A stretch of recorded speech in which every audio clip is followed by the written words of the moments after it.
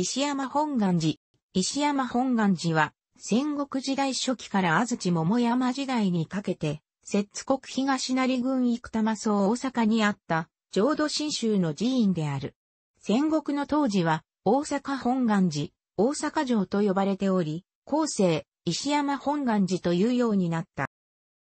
他の本願寺と比較した際の特徴は、本山、石山本願寺を中心に防御的な堀や土井で囲まれた寺内町を有する点である。天文2年、1533年に本願寺教団の本山となって以後発展し、戦国の一大勢力となったが、織田信長との構想、石山合戦の末、天正8年、1580年に権女が明け渡し、その直後に消防した。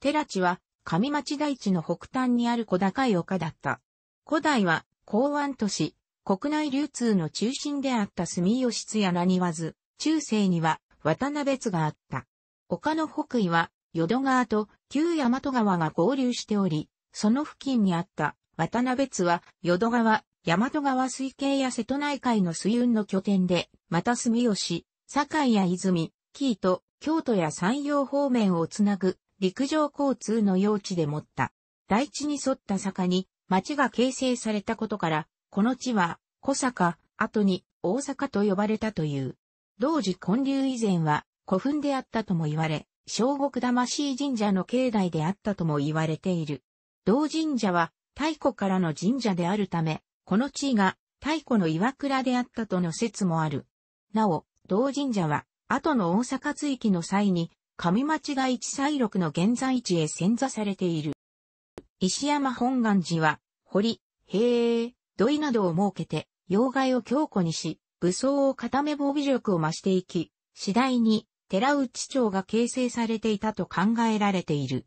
雪州第一の名城と言われるほどになり、石山本願寺城とも通称されるようになった。石山合戦では、織田信長を相手に足掛け10年間も戦うことができた。蓮女は、延徳元年、1489年に保守を実女に譲り、自身は山科本願寺の名殿に隠居した。しかし、布教活動は盛んに行われていたらしく、大阪周辺に都市に何回か行き来していた。明王5年、1496年9月に、某社、大阪御堂の建設が開始された。これが後に、石山本願寺となり、これを中心に建設された、寺内町が再び、それまでは、港湾都市、国内流通の中心であった住吉津や何わず、中世には、渡辺津といった大阪の源流になったとされる。建設は、堺の町州、摂津、河内、泉、北陸の門都州の援助を得ながら、翌明王6年、1497年4月に上等があり、同年11月には、総石垣の扉5門ができ、妖怪の寺院が完成した。蓮女は、今までいくつかの防車を建設したが、日本都市史研究によると、その中でも大阪御坊が最も美しいものであったという記録がある、としている。生玉荘と呼ばれていた当地が、なぜ石山と呼ばれるようになったのか、理由は明確になっていないが、蓮女の孫である、剣右慶が、永禄11年、1568年に書いた資料によると、と記されている。これによると、そのまま礎石に使える大きな石が土中に多数揃っていたという不思議な状況にちなんで、石山と故障したようになったのであろうとしている。なお、後年の発掘調査の結果、大阪城市一帯は南波宮の否定地にもなっている。これに対して、吉井勝信が石山の名称が用いられるようになったのは、石山本願寺が亡くなった後の近世、江戸時代以降の表現であり、大阪本願寺が当時用いられていた名称であると、施設を唱えており、これを支持する研究者の間では、石山戦争を大阪本願寺戦争と呼び替える動きがある。蓮女の後継者実女は、細川正元と畠山義豊との明王の政変以降の戦いに対して、細川正元から強く参戦を求められていた。永正3年、1506年に実女は、摂津、河内の門徒州の反対を押し切り、本願寺として初めて参戦した。これ以降、本願寺は武装化していき、武士勢力との抗争が始まっていく。協力5年、1532年5月、河内の飯森山城に立てこもった木沢長政が主筋である畠山義高の他に、三好元町、筒石も加わった連合軍に包囲された。そこで、実女の後継保守少女は、細川春元からの救援の要請に応じて、大阪御坊により、モント州2万兵を率いて参戦した翌月6月には、後位軍を退散させた。さらに、後一期は、ホッケシュートであった三好元町を堺まで追い回し、自害に追いやった。その間にも続々と参集した門徒は10万人まで膨れ上がったと伝わる。しかし、ここで解散せずに、大和へも乱入した一行一揆に、危機感を覚えた春本が、天文に改元後の同年8月初旬から本願寺の松寺や大阪御坊に攻撃を仕掛けてきた。さらに春本からの要請に応じた、北慶紀州や尾身守護、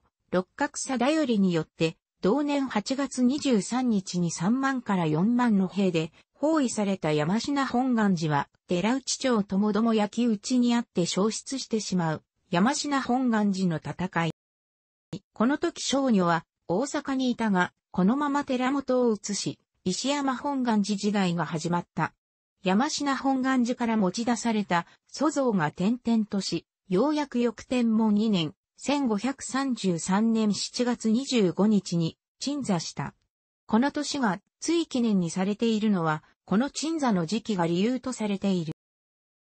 この間も、春本と石山本願寺との戦いは続き、木沢長政や三好長慶らが石山本願寺攻めに加わり、石山本願寺では、傍観の下妻頼盛が指揮官として赴任し、義の一行門徒州にも援軍を要請したりしていたが、天文4年、1535年11月末、山科本願寺の戦いから約4年後、ようやく両者で和議が成立する。下妻頼盛は一騎を先導した罪で、兄の下妻頼秀と共に、本願寺から追放され、後に暗殺された。細川春元らとの構想の中で、石山本願寺は事業を拡大し、城郭の技術者を集め、周囲に堀や土塁を築き、塀、柵を巡らし、寺内町として防備を固めていった。このように、石山本願寺は、少女時代に、すでに妖怪堅固な城郭都市に至ったと考えられている。少女から権女の時代となり、西日本、北陸地域の一行州都の勢力と富の蓄積も拡大していった。イエズス会所属がスパルビレラの永禄4年、1561年8月の手紙に、と報告されるほど本願寺は、多数の門徒とその門徒がもたらす財力を有していたことがわかる。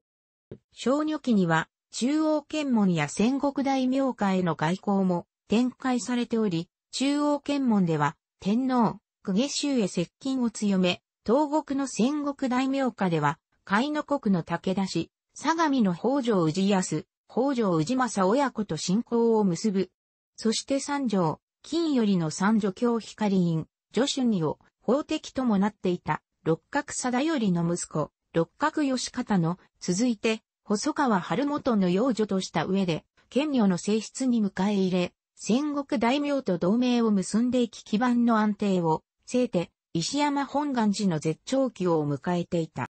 しかし、その前に立ちはだかったのが織田信長である。信長は上洛直後の永禄11年、1568年に石山本願寺に対して野戦五千巻を要求した。また、元気元年、1570年正月に石山本願寺の明け渡しを要求したと言われている。これに対して県女は全国の門徒州に対して石山本願寺防衛のため武器を携え、大阪に集結するように劇を飛ばし、同盟軍で三好三人衆軍が織田軍と戦っている最中に、ついに打倒信長に決起したのが同年9月12日であった。ここから石山合戦が放棄し、これ以降石山本願寺と織田信長の戦いは連続した戦闘だけではなく、和睦戦術を交え途中断続し、両勢力とも同盟勢力の拡大を図りながら11年も長きにわたり続た。まず、織田信長は、天正元年、1573年8月20日に、一条、国条の戦いにおいて、朝倉義景率いる朝倉軍を追撃して滅亡させる。同年9月1日には、小谷城の戦いにおいて、居城の小谷城に籠城した浅井長政を滅亡させる。本願寺勢力は同盟関係にある戦国大名、朝倉義景と浅井長政を失うことによりより苦しい状況に追い込まれる。続いて信長は一向一揆に対して殲滅戦を開始する。天正2年、1574年9月に長島一向一揆を平定。天正3年、1575年8月に越前一向一揆を平定する。信長によるこれらの殲滅戦によって、石山本願寺は次第に追い詰められていった。同年10月に県女は、選挙区公転の一時的な手段として、信長に有利な和睦を申し入れ、信長は受け入れた。この時信長は、武田勝頼や毛利輝元などに攻撃されかねない状態であったため、戦略的にも有利な和睦の申し入れだった。しかし天正4年、1576年、県女は各地の門徒州に激文を送り応援を求める。そして食料を蓄えたり、弓や鉄砲などの武器を集めたりするなど信長に対して臨戦態勢でいた。県女は天正4年、1576年5月7日に天王寺砦の戦いにおいて一旦は信長軍を追い込む者の大敗する。信長は大阪の周辺に10カ所の付け城を作るように命じ、尼崎城、大和田城、吹田城、高槻城、茨城城、多田城、野瀬城、三田城、花熊城、有岡城が築城され、兵糧攻めに出る。また、住吉方面の沿岸にも砦を設け海上を警護した。本願寺勢力はこれに対抗し、森口、野江、南波、木津などに出城を構え籠城戦に入る。しかし信長による一気の平定により、諸国の門徒からの救援は乏しく、寺内町として発展していた石山本願寺は食料不足に陥る。食料不足を打破するために、県女の長子である京女は、瓶ごともの裏に向かい、信長によって京都から追放されていた室町幕府第15代将軍、足利義明の仲介を得て、毛利輝元に本願寺に対する援助を要請した。天正4年、1576年7月、毛利水軍は、西賀州とも合流し、石山本願寺へ、兵糧搬入しようとする。木津川川口で、織田水軍が阻止しようとするものの壊滅的打撃を受け撤退し、兵糧搬入は成功した。第一次木津川口の戦いしかし、天正5年に、西賀州が信長に降伏。天正6年には、毛利水軍も鉄鋼戦六隻を要する、久喜義高の久喜水軍に敗れる。第二次木津川口の戦いこれらの敗戦により、政界権が奪われ、石山本願寺への大規模な補給路を断たれ、厳しい籠城戦を強いられることになる。天正8年、1580年ウルー3月5日、扇町天皇の直令により、立利宗次が朝廷に出向き、双方の和議が成立する。同年4月9日県女は、詐欺森別院に向けて退去する。退去を拒んだ、西下州の一部とも、公は、同年8月2日に、石山本願寺を明け渡し、西下へ向かった。県女の長男である京女が退去した直後に、同社、寺内町が炎上して怪人に返した。二日、和代炎上し続けたと伝わっている。石山本願寺は、織田軍の長期の攻撃にもかかわらず、武力で開城されることはなかった。日本城郭体系によると、いくつかの要因があるにせよ、最大の理由として、城郭そのものが難攻不落の名城であったことを挙げねばならないと解説している。幸福寺の達中多門院の院樹で学寮の英春は、天正8年8月5日付の日記に、とあり、教女による意図的な放火との見方を記している。その後、豊臣秀吉が跡地に大阪城を築き、城下町を建設したため、大阪本願寺の規模や構造などはほとんどわからなくなってしまった。新州大阪市によると、要害の地に占め、寺院とは家堀と土井に囲まれ、まさに堂々とした城郭であったと記されている。石山本願寺は、門前町が栄える、本山、本願寺ではなく、本山、本願寺を中心に堀や土井で囲まれた、寺内町を有する一種の看護城郭都市であった。1927年、昭和2年発行の大阪市市には、石山本願寺には、大阪城、本丸周辺と記されており、それが長らく定説となっていた。しかし1953年、昭和28年に発行された大阪城の研究により、法園坂に造営されていたという新説が発表され、翌1954年、昭和29年同じく山根徳太郎によって発行された大阪城市の文化的研究の論文にもさらに、法園坂説を補強する説が発表され、二案、併記される状態となった。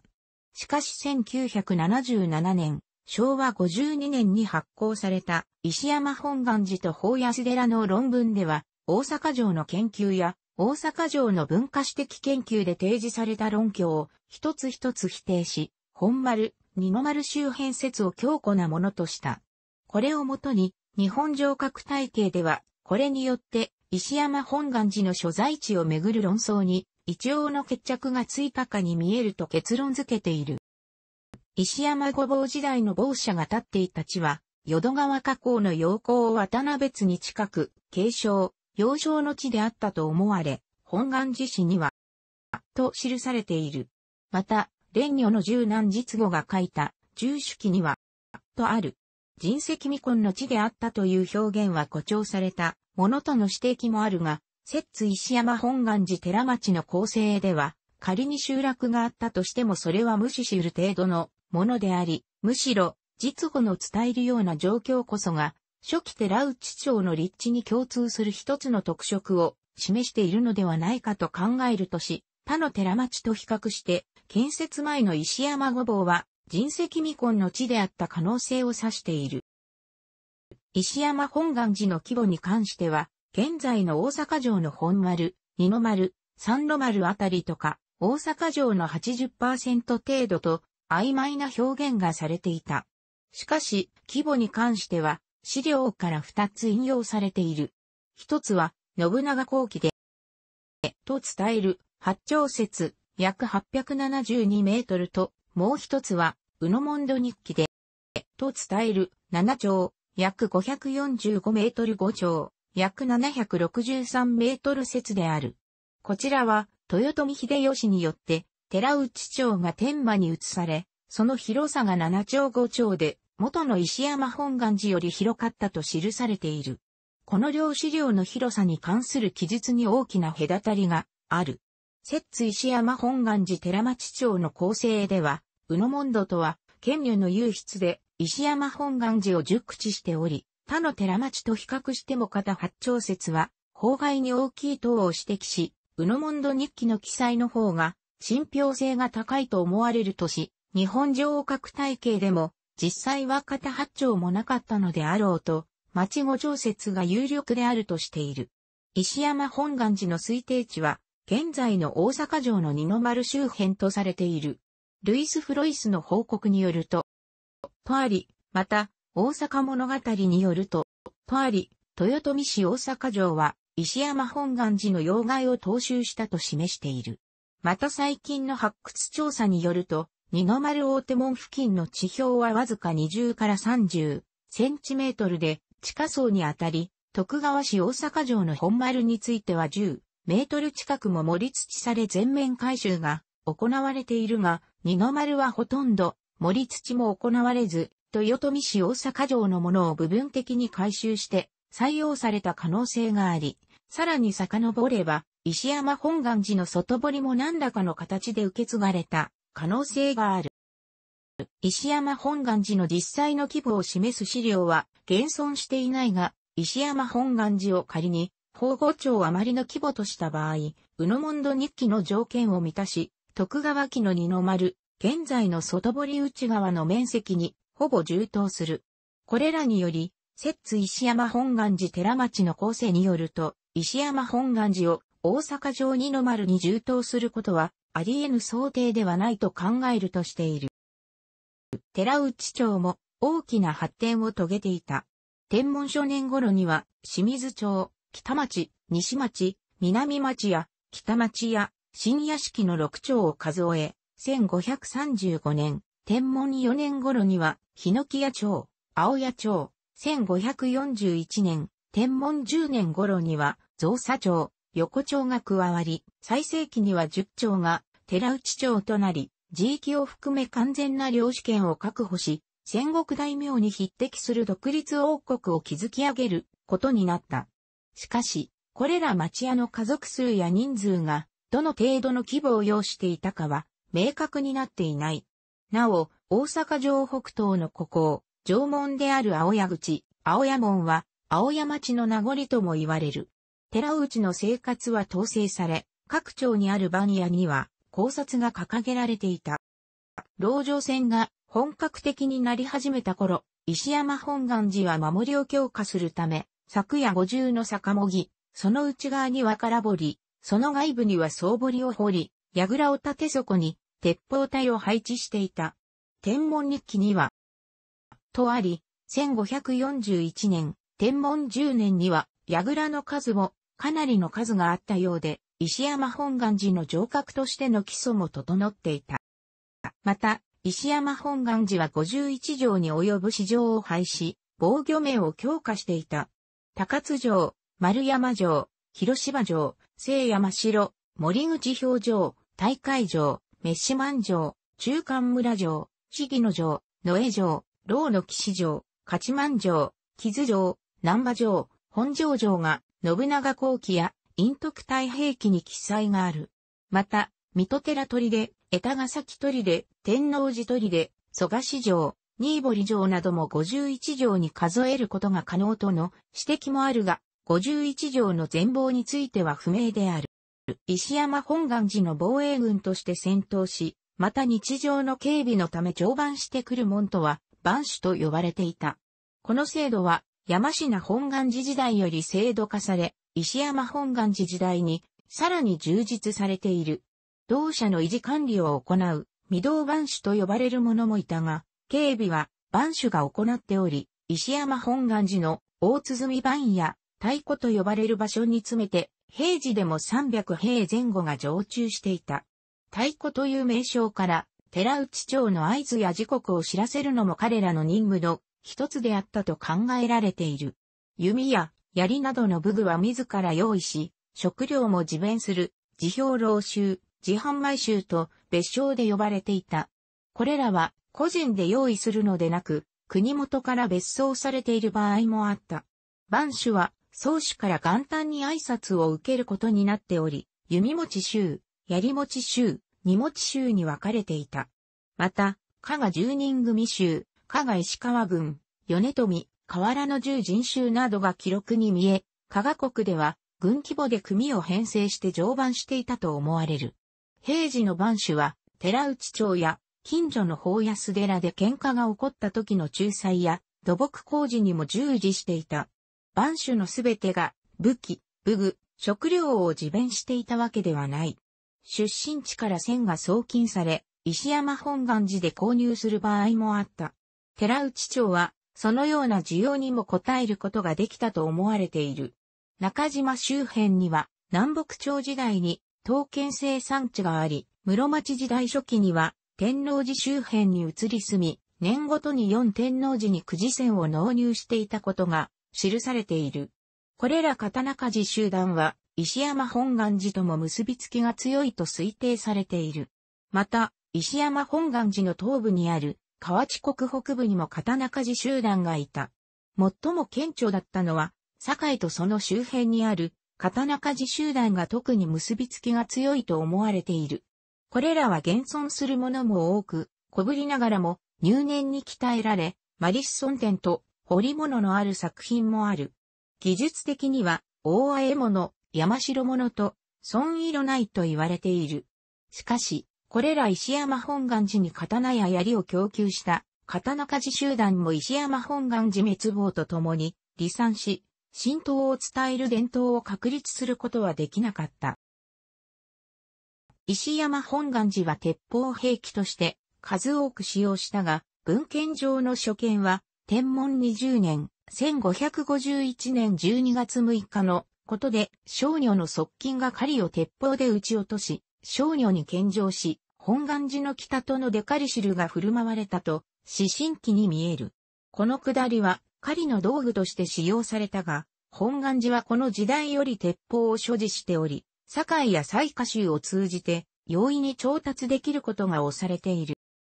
石山本願寺は、石山本願寺周辺にあった寺内町のみが支えていたわけではなく、摂津国、河内国、泉国の寺内町も石山本願寺を支え、支えられていた。このような寺内町ネットワークのことを寺内町と城下町などでは大阪並体制と呼んでいる。その一つが富田林寺内町である。富田林寺内町では近年発掘調査が行われ、町の周辺部で18世紀の遺構しか発見できなかったことから、戦国時代の寺内町は一回り小さかった可能性が指摘されている。その小さかった富田林寺内町は、河内国の死後畠山氏の家臣、安見宗房の金星によって特権が与えられた。